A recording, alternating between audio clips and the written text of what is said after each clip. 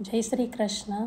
આજે આપણે ઠાકોરજીના ઉષ્ણકાલ માટે ધરાવી શકાય તેવા મોતીના માલાજી સિદ્ધ કરીશું. ખૂબ જ સરળ છે અને પાંચ જ મિનિટમાં બની જશે. એ માટે ત્રણ એમએમ અને પાંચ એમએમના મોતી અને બે એમએમના ગોલ્ડ સીડ બીટ્સ મેં લીધા છે.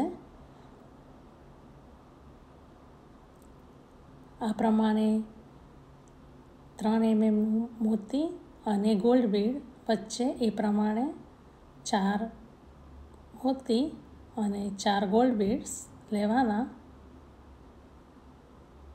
દરેકની વચમાં એક ગોલ્ડ બીડ આવી જાય એ પ્રમાણે અને પછી ગાંઠ મારી લેવાની.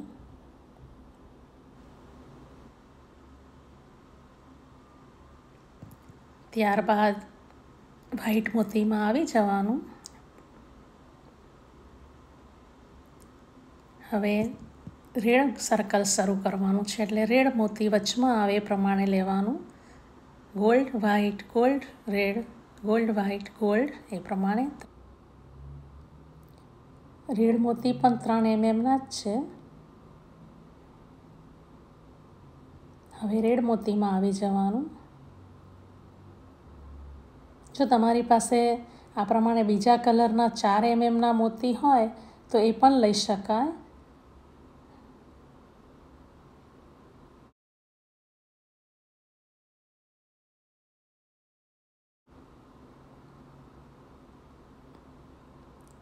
હવે ત્રણ રેડની વચમાં ગોલ્ડ આવે એ પ્રમાણે.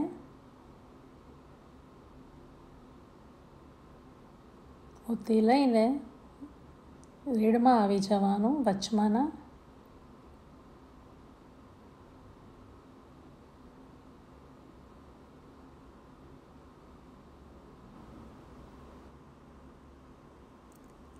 Gold red gold red gold red. એ પ્રમાણે ફરીથી મોતી લેવાના અને રેડ મોતીમાંથી જ નીકળી જવાનું.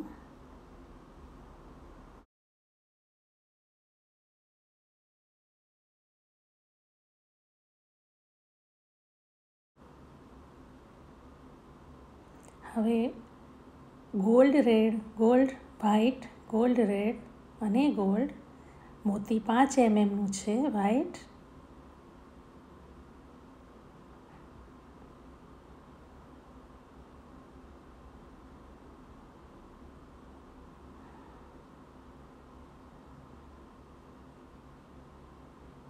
હવે વ્હાઈટ સર્કલ બનાવવાના છે એટલે વ્હાઈટ મોતી લેવાના અને દરેકની વચમાં ગોલ્ડ બીડ લેવાના.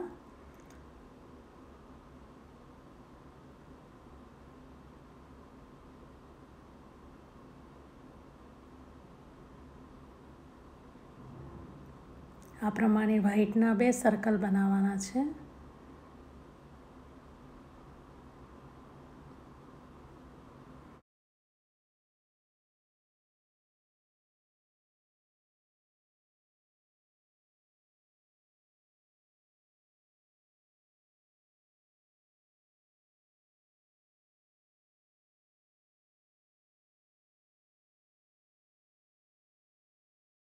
આ પ્રમાણે આગળ વધવાનું, જેટલી લેન્થ જોઈતી હોય એટલી કરવાની અને લેન્થ જોઈતી થઈ જાય એટલે વચ્ચેમાં પદક બનાવવાનું છે. હવે પદક માટે મેં છ એમએમનું વ્હાઈટ મોતી લીધું છે એક.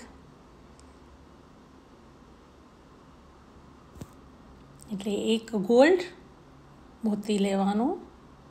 ત્યારબાદ સિક્સ એમએમનું એક વ્હાઈટ ફરી ગોલ્ડ અને ફાઇવ એમએમનું વ્હાઇટ અને એક ગોલ્ડ મોતી બે જ આવશે. છ એમએમ અને પાંચ એમએમ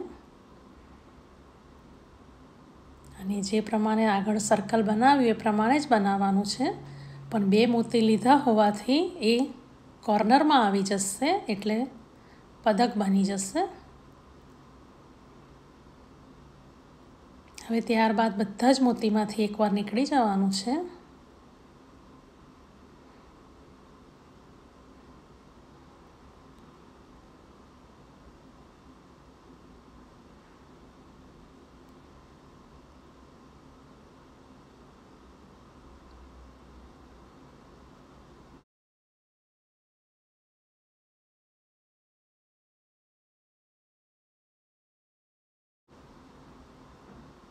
અને સિક્સ એમએમના મોતીની પાસેના ગોલ્ડ મોતીમાં આવી જવાનું.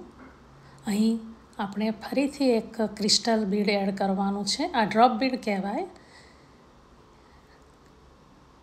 એ માટે ત્રણ ગોલ્ડ એક ક્રિસ્ટલ બીડ અને એક ગોલ્ડ લેવાનું. અને લાસ્ટ ગોલ્ડ સ્કીપ કરીને ડ્રોપ બીડમાંથી નીકળી જવાનું. ત્યારબાદ ફરીથી ત્રણ ગોલ્ડ બીડ લઈને સિક્સ એમએમની પાસેના ગોલ્ડમાંથી નીકળી જવાનું. અને ફાઇવ એમએમના વ્હાઇટમાં આવી જવાનું. અને જે પ્રમાણે આગળ શેર તૈયાર કરી, એ જ પ્રમાણે મોતીનો ક્રમ રાખવાનો છે.